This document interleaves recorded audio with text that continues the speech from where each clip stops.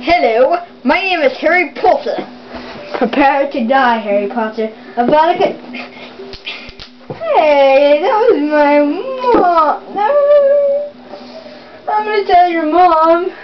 You killed my mother 16 years ago. Crucio. Ah! Ouch, that hurt so much. Do you mind getting me an aspirin? I do, as a matter of fact.